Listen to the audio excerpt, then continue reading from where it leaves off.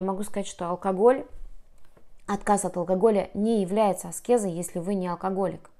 Так что, если, конечно, для вас аскеза, то вам нужно задуматься и не делать из этого аскезу, а задуматься и начать вести более осознанный образ жизни и больше копаться в себе.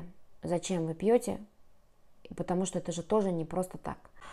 Вот. И если вы докопаетесь до сути, зачем вы пьете, для чего вам нужны алкогольные, алкогольные напитки, что вы запиваете, то я думаю, что вам не нужно будет делать это аскезой и бороться с самим собой, а просто это уйдет от вас легко и просто, когда вы найдете первопричину этого.